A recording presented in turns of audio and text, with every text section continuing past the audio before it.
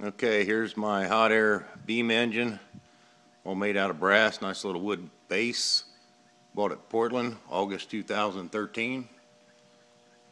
See my fire in there?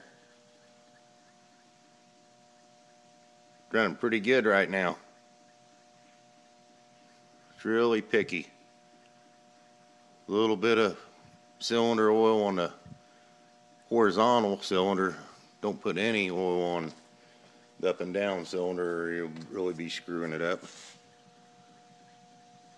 But you're going good right now.